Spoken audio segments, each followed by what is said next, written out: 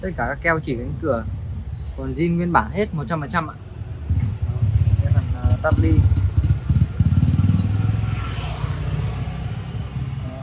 Chủ nhân thì à, rất là giữ gìn.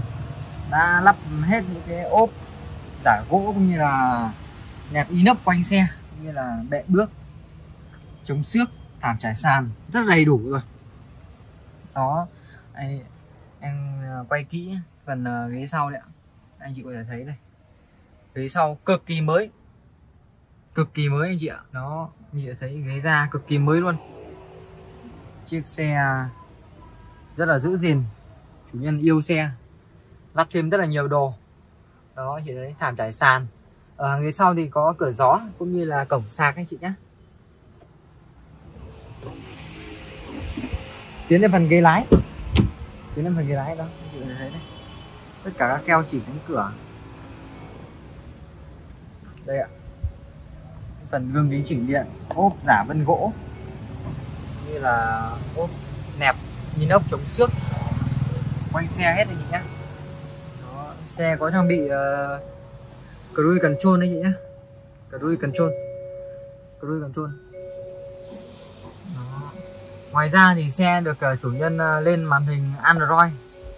Màn hình giải trí Android kết hợp với cả camera 360 độ anh chị nhé nó xe có trang bị à, điều hòa hai vùng độc lập đèn đỏ start stop cũng như là phanh tay điện tử auto home ba chế độ lái hỗ trợ, hỗ trợ đổ đèo.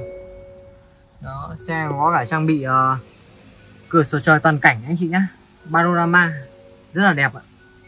Đây anh chị thấy ghế uh, da bên phụ đấy ạ cực kỳ đẹp ngoài ra thì à, xe có trang bị cả ghế điện anh chị nhé ghế điện. Ghế điện cho hàng ghế trước. Sau đây em sẽ vào phần khoang máy để à, quay à, kỹ cho anh chị. Bên em thì bán xe là luôn cam kết là không đơn động không ngập nước, máy số zin. Bảo hành cho quý anh chị 6 tháng. Đây, anh chị có thể thấy ốc chân máy đấy. Còn nguyên dấu sơn nhé nguyên bản 100% ốc carbon ốc carbon như là keo chỉ. Keo chỉ đinh tán. Còn nguyên zin 100 phần trăm nhé. Đó. Anh chị ờ, có nhu cầu thì hãy ờ, liên hệ theo số điện thoại em đã ghi trên màn hình. Hoặc là dùng số điện thoại đó để các bạn zalo. Để bên em có thể gửi full hình ảnh của chiếc xe này và giải đáp mọi thắc mắc của anh chị về chiếc xe Tucson này nhé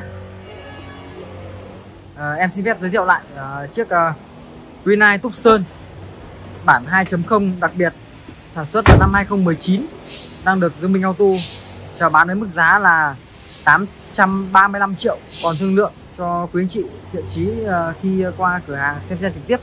Em cảm ơn và hẹn gặp lại quý anh chị ở những video tiếp theo của Dương Minh Auto.